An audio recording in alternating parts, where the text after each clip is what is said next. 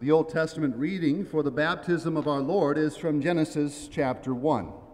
In the beginning, God created the heavens and the earth. The earth was without form and void, and darkness was over the face of the deep. And the Spirit of God was hovering over the face of the waters. And God said, Let there be light. And there was light. And God saw that the light was good. And God separated the light from the darkness. God called the light day, and the darkness he called night. And there was evening, and there was morning, the first day. This is the word of the Lord. The epistle is from Romans chapter 6. What shall we say then? Are we to continue in sin that grace may abound? By no means. How can we who died to sin still live in it? You not know that all of us who have been baptized into Christ Jesus were baptized into his death? We were buried, therefore, with him by baptism into death, in order that just as Christ was raised from the dead, by the glory of the Father, we too might walk in newness of life. For if we have been united with him in a death like his, we shall certainly be united with him in a resurrection like his. We know that our old self was crucified with him, in order that the body of sin might be brought to nothing, so that we would no longer be enslaved to sin. For one who has died, has been set free from sin. Now, if we have died with Christ, we believe that we will also live with him. We know that Christ, being raised from the dead, will never die again. Death no longer has dominion over him. For the death he died, he died to sin once for all. But the life he lives, he lives to God. So you also must consider yourselves dead to sin and alive to God in Christ Jesus. This is the word of the Lord. The Holy Gospel according to St. Mark, the first chapter. Glory be to thee, O Lord. John appeared baptizing in the wilderness and proclaiming a baptism of repentance for the forgiveness of sins. And all the country of Judea and all Jerusalem were going out to him, were being baptized by him in the, in the river Jordan, confessing their sins. Now, John was clothed with camel's hair and wore a leather belt around his waist, and ate locusts and wild honey. And he preached, saying, After me comes he who is mightier than I, the strap of whose sandals I am not worthy to stoop down and untie. I have baptized you with water, but he will baptize you with the Holy Spirit. In those days, Jesus came from Nazareth of Galilee and was baptized by John in the Jordan. And then he came up out of the water. When he came up out of the water, immediately he saw the heavens open, opening, and the Spirit descending on him like a dove. And a voice came from heaven You are my beloved Son. With you I am well pleased. This is the gospel of the Lord. In the name of Jesus, Amen. From 19, 1969 to 1993, Americans tuned in to one of the longest running shows in television history with comedy sketches and music from some of Nashville's biggest stars. That show was none other than Hee Haw. Hee Haw's been off the air for over 25 years now, but it lives on in DVDs and on the internet. One of my favorite sketches done frequently was the Gloom, Despair, and Agony sketches by Roy Clark and Grandpa Jones, and usually two other cast members. Another favorite is You Was Gone by Archie Campbell. Each verse concluded like this Well, where are you tonight? Why did you leave me here all alone?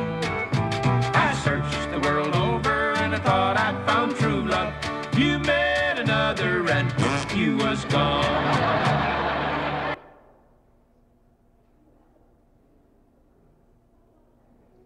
Now, you're probably asking yourself, what does that have to do with the baptism of Jesus?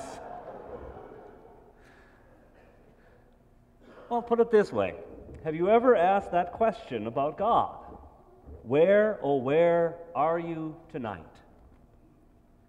Jesus himself asked a similar question as he hung on the cross My God, my God, why have you forsaken me?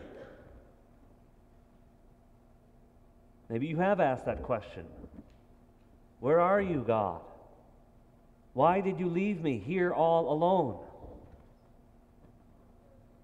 Whether it's good times or it's bad times, it's never good to be alone. If things are going well or it's a time of rejoicing and celebration, that rejoicing and that celebration quickly ends when there's nobody else around to share in it. And in bad times, it goes on longer when there's no one around to share in that burden. So, where is God? Is He a God who is far off? Does He leave you here all alone? Or is it you who have gone off? Is it you who wants God to leave you alone? At least until He's needed, at least until things start to go wrong. You have gone astray. You have wandered. You have done what is right in your own eyes. The dark world in which we live is trying to set its own course, and anyone that tries to tell another how to live or what to do is at best ignored and is at worst killed. But the God of creation, the maker of heaven and earth, isn't far off. He doesn't leave you here all alone. In fact, just the opposite. He's always involved, but not always in ways that the world appreciates because God actually expects something of you things that you are to do and not to do. Yeah, you heard me. God actually expects you to do something. That you have a standard to live up to. Don't curse. Don't murder. Don't commit adultery. Don't steal. Don't lie. Don't covet. Those are the do nots of God's law. So, what is it you are supposed to do? You are to call upon God in the day of trouble, to pray in His name, gladly hear the word of God preached, help your neighbor in every bodily need, be faithful to your spouse, and encourage others to do the same. Protect the property of others, and speak well of your neighbor. You and I have to do all of that and not do all these other things?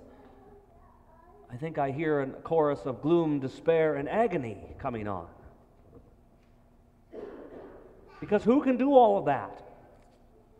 Who could possibly remain holy in the eyes of God? Where, oh, where are you tonight? Why did you leave me here all alone? Enter John the Baptist. We heard about him during the Advent season.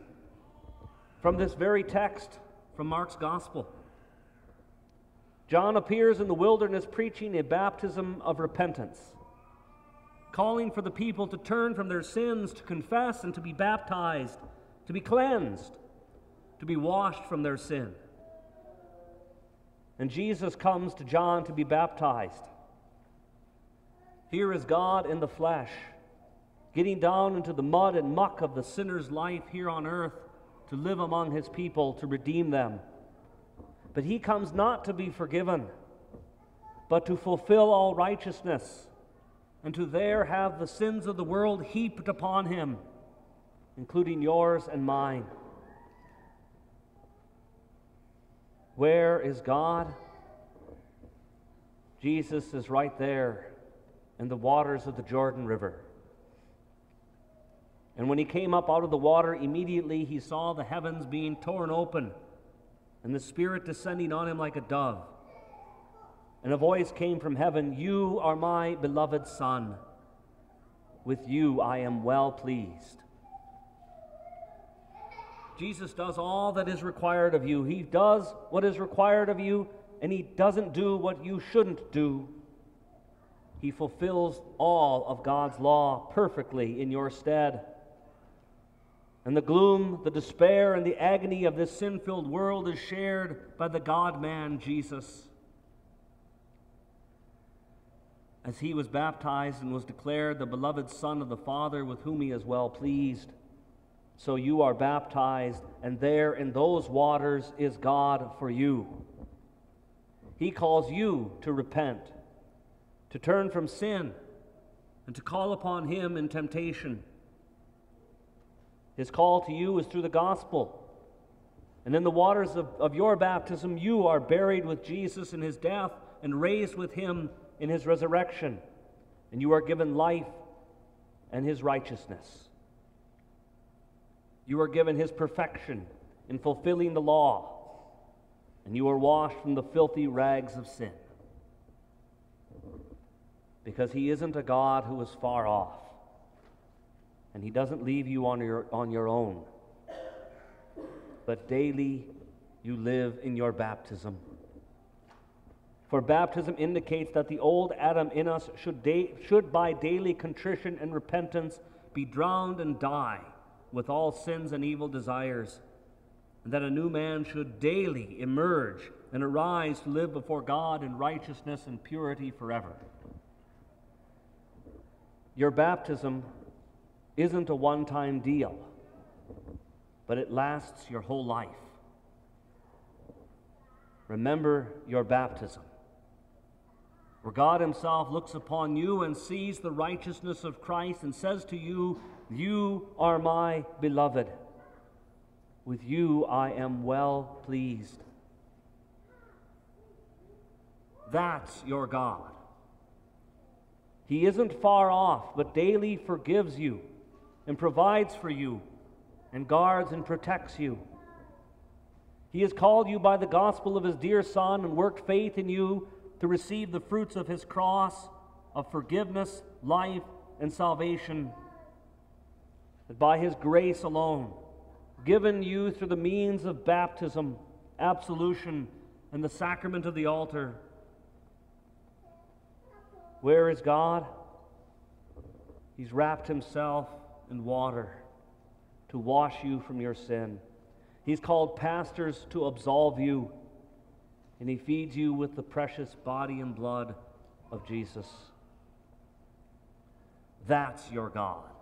That's your Savior. That is your Redeemer, who went down to the waters to be baptized by John so that your sin would be, would be heaped upon him and that he would carry them to the cross, to be the scapegoat that took the sins outside the walls and die.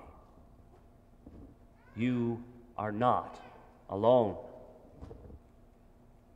For Christ claims you as his own. He forgives you and gives you life everlasting. Remember your baptism. In the name of Jesus. Amen. The peace of God, which surpasses understanding, guard and keep your hearts and minds through faith in our Lord Jesus Christ. Amen.